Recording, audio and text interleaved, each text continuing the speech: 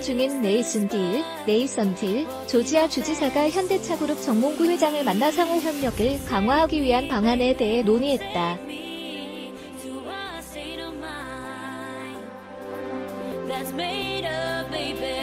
네이슨 딜 주지사는 지난 15일 미국 조지아주에 진출한 한국 기업과의 유대관계를 강화하기 위해 우리나라를 찾았으며 17일 현대기아차 본사를 방문했다.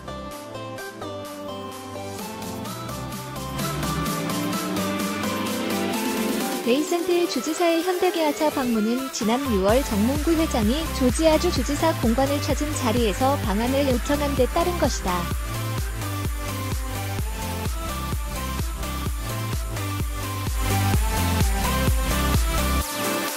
정몽구 회장은 기아차 조지아 공장이 높은 생산성을 기록하며 연산 30만 대 체제에서 최근 36만 대 체제로 늘릴 수 있었던 것은 주정부와 주지사의 적극적인 협조와 관심으로 가능했다.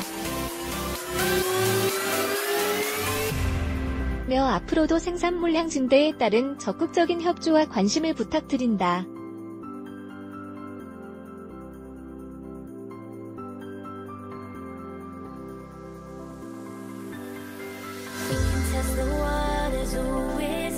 고 말했다 네이슨 딜 주지사는 기아차는 조지아주에 위치한 외국 기업 중 가장 성공적으로 운영되고 있는 기업 중 하나라며 기아차가 공장 규모를 36만 대로 늘릴 수 있었던 것은 소렌토와 과K5, 현지명 옵티마와 같은 훌륭한 모델을 투입해 소비자들로부터 큰 인기를 이끌어냈기 때문이라고 말했다.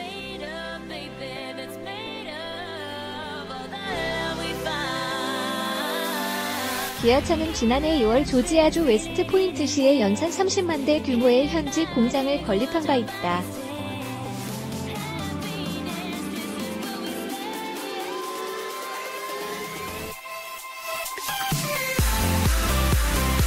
특히 최근 K5의 미국 현지 생산을 위해 조지아 공장에 1억 달러를 투자해 설비 공사를 진행했으며 K5 투입과 함께 삼교대제로 근무 형태를 변경, 내년부터 연간 생산 능력을 36만 대로 20% 확대할 계획이다.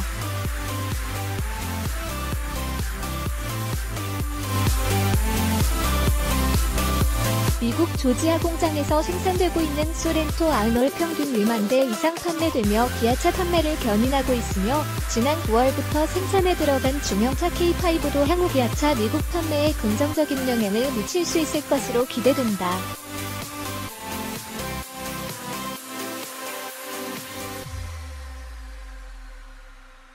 조지아주 정부도 각종 혜택과 다양한 인프라 구축을 지원해 줌으로써 기아차의 투자에 적극적인 지지를 보냈다.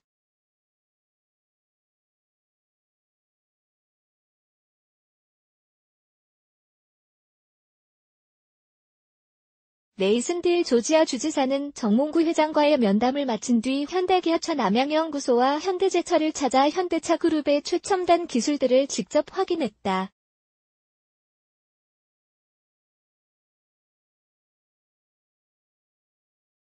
현대기아차 남양연구소를 찾은 네이슨딜 주지사는 모하비 수소연료 전지차와 K5 하이브리드를 비롯해 올 연말 출시 예정인 템 프로젝트명 전기차를 시승했다.